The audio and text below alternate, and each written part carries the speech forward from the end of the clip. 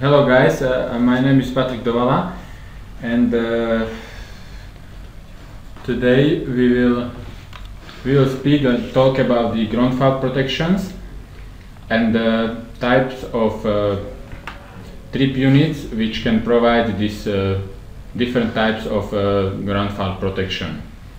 So, uh, do you see my desktop, the presentation? Uh, okay, so I hope yes. Tak, tak, že to, to je toto, čo tu vidíš, hej. Mhm.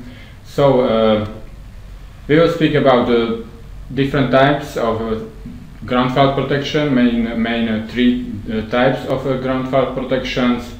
Uh, then are offered to this type of ground fault protection. MCCBs, ACBs, and uh, their trip units which can provide this protection, and uh, the proper sensors which you have to choose to provide this protection. Okay, so uh, I use uh, the sentence ground fault protection, but this is uh, mainly from the next standard, we can say. But uh, I use this sentence only because it's uh, easier to, to identify and to speak about the principle of, of the, the protection types. Here you can see uh, the main role of the GFP to ensure protection against fire and also to ensure protection against direct indirect contact. We can say roughly two main uh, reasons for this protection. Uh, the, the main principle we can say is the vectorial sum of the working uh, conductors, three phase and the neutral if it's distributed and also the so the vectorial sum of this, current uh, should be equal to zero. If no, this uh, this uh, other current is uh, equal to, to ground fault or some residual current which can flow through some some fault place. Guys, if you uh, have to, if you if you want to interrupt me or ask something during the presentation, do not hesitate. Or correct me or if you have some uh, experience don't hesitate to add and uh, interrupt here you can see the difference because we are speaking about the GFP and uh, I think uh, everybody knows the, the RCD mm, mainly yeah? So here is the difference in the sensitivity we can say uh, of the uh, protection or, or, or of the sensing measuring the, the fault current so up to 30-40 amps we can speak about the higher or low, low sensitivity according to the IS, IEC standard. And uh, above this standard uh, is uh, the next standard and we can go up to 1200 amps with ground fault protection. So you see there are quite high currents what we can uh, protect what we can detect and uh, uh, provide protection against the risk of fire or uh, save our property or uh, the property of customers, also the devices. Here we can see the three main uh, types of uh, ground fault protection, how we can provide it. There are also some uh, some mix or some modification of few of them, but this, uh, these are the main three types and also the main three types of our protection uh, devices or the, how our trip units can ensure this, this protection. So from the left we, we see the RS system, the residual sensing. Here we can say, see it's working on the principle of uh, vectorial sum and uh, we are measuring each we are measuring each uh, working phase and the neutral separately, but we are able to calculate the vectorial sum of uh, these uh, conductors and uh, count the, the ground fault or some uh, residual current uh, from this sum. Yeah. So the, the second one is is the SGR, so so the source ground return protection, and here we are measuring directly the neutral, the earth link of the transformer. So all fault current, residual current coming back to the neutral of the transformer, we are catching and we are measuring. So we can provide the protection against this fault current here, yeah? The third type also working on, you can see that uh, the second type is not really based on the vectorial sum. The third type is very well known by everybody. Everybody at our homes uh, have the, uh, this type of protection and this is the zero sequence. So it's uh, provided by the toroid transformer. So all working phase plus neutral, if it's distributed, it's included in the one toroid uh, current transformer and uh, we are sensing the, the fault current uh, thanks to this. So a little bit more deeply, you can say see here the, the principle, the connections. So how I said, we are measuring uh, the, the devices separately. These CTs on each phase and neutral are the same CT what are in inside the device, so circuit breaker for example, yeah, or the trip unit for in a compact GNSX case. The neutral current, uh, if you have triple device, you can have uh, externally mounted this, this CT. So no problem if you have tripole device, you can add the external CT on the neutral. Or uh, if you have uh, unrestricted earth fault protection, you have to uh, mount it uh, externally, but it's a different topic. So uh, with uh, compact NSX, uh, we can provide this protection with uh, MicroLogic 6, how you know very well. Uh, here you can see the possible settings. It's uh, available in the catalog and you can see that uh, is it possible to, to set the ground fault current from 0.2 of the nominal up to 1, 1 after up to nominal current of the breaker. Also, you are able to set the time delay if uh, it's only some nuisance uh, ground fault. With uh, breakers like uh, MCCB uh, above 630B and for ACBs like MasterPact and TNV, we are providing this uh, RS residual sensing ground fault protection um, by MicroLogic 6. Yeah, so here we have options also for settings this protection, depend on the nominal of the breaker. Uh, here is the, you know, this, this diagram. So here you can see that these CTs are directly connected to the MicroLogic. So in our case, our breaker, Schneider Electric, we are using these uh, Rogowski uh, current transformers for measuring the thermal, short circuit, and also we are able to sum the vectorial uh, sum of this current. Yes, so also you can see the, the fourth, the neutral is the option. Or you can, if you have tripole, how I said, how I mentioned, you can uh, put here the, the neutral uh, current transformer. Okay. Uh, here you can see that the, the second type of uh, ground protection, ground fault protection is the SGR. Yes, so with uh, MicroLogic 6 we can provide this protection and uh, we are measuring directly the, the fault current coming back to the neutral of the transformer. For this, um, this uh, type of protection you need to use the, the external sensor, yeah?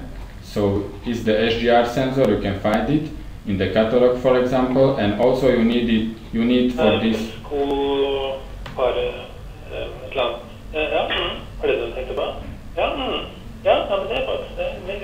Okay guys, so let's continue, thanks. So you, for this you need the MDGF module and the SGR sensor, the external sensor, put it directly to the earthing conductor of the transformer, yeah? Bless you. Uh, here some math, so we can see that the, the residual current detected by the N, by the external sensor, is strictly the same that's detected by the, for example, if we put the toroid to the all working phase. Yes, so we can use this protection or this will cause the same result of the, of the ground fault protection metering. The third type is the zero sequence or the earth leakage protection, well known. Yes, so we are using the, the toroid uh, around all working phases uh, plus neutral, if neutral is distributed. If no, is no problem to use this protection also for uh, three phases. The earth leakage protection can be done uh, with our uh, uh, many of uh, devices. Also, I, I, just put it because to, to see all offer which can provide this earth leakage protection. So we can use the final distribution devices like Acti9, Multi9, yeah, IED, RCCBID, all VG, VG uh, devices like C60C 120NG, yeah. Then we have uh, the complete offer of Vigirex really, so they can provide earth leakage protection. And also I think one type of uh, can provide also the SGR, the second type of, of uh, earth, uh, of ground fault protection. Now coming back to, to our uh, topic, the MCCB, so compact NSX plus VG module, well, well known by everybody and also the, the ACBs, so the air circuit breakers like uh, Masterpact Compact with Micrologic 7. So the 7 is for earth leakage or zero sequence type of ground fault protection, plus the toroid, sensor. Here the MCCB and the VG module, different type of uh, possible settings, from 30 amps for the smaller body of the breaker and from 300 uh, milliamps uh, of for the uh, NSX 400 and 630 easy installation. For the uh, bigger breaker with Micrologic 7 and Compact NS uh, from 630B and for Masterpact NT and NWV, yeah, possible settings also the residual current settings and the time delay. Here is the different connection from the Micrologic 6. This part is the same because also Micrologic needs to measure the, the current for the protection of thermal protection and short circuit. But we need to add the, the toroid uh, around all uh, phases and at the neutral, yeah? Here are some sum up of the possible and available sensors for uh, each type of protection. So the first two here the left one and the right on the first row. You can see the first is for compact NSX and the second for uh, breakers like ACBs. Uh, this can provide the external neutral protection. So if you have a three-pole breaker, you can add this sensor and you have a neutral protection, but only with NSX Micrologic 5.6 and with uh, ACB's Micrologic P and H. And also then you will you will be able to provide the RS protection with Micrologic 6 thanks to this uh, CT. If you have a neutral not distributed, you don't need this uh, module, yeah? You don't need it. The second two uh, sensors are the VG and the toroid transformer. In, in VG module also there is a toroid. So this you need for uh, earth leakage protection or the zero sequence type of protection and you, you measuring the, the residual current uh, thanks to this. You need to choose the, the proper size according to the nominal rating. We have two types of this uh, bigger, bigger toroid. And the sixth sensor is the SGR sensor for uh, Micrologic 6 and the, the separately measuring of the neutral, of the earthing conductor of the, of the transformer. So uh, roughly that's all about the type of protection and sensor and here we have some just some details to, to better understand. For example, we had a case uh, with Micrologic 5 from uh, our, one of our colleagues and the question was if you check the Micrologic 5P which are not providing the earth fault protection or GFP protection, you can always see its uh, display also the, the fault, the earth fault current or the earth current, yeah, the IG. The question can be why and how if it's not provide the protection. So thanks to thanks to the, the counting of the vectorial sum, uh, you have this uh, value displayed. Yeah, you can set the alarm, but you cannot trip the device uh, according this uh, this code with 5.0 5.0p micrologic. Uh, this can cause a problem if you have a neutral not distributed. You have not information about the about the ratio between IN and IG. Yes, so you count the vectorial sum of all current if neutral is distributed and you not measure it. You can have uh, not not proper value of the of the IG and uh, the value is still distributed so uh, so it's still dis displayed. So it can confuse uh, the customer or or but uh, okay so the solution is put the external uh, current transformer for the neutral and measure correctly the, the nominal if it's distributed. Then you will have correct value also in this place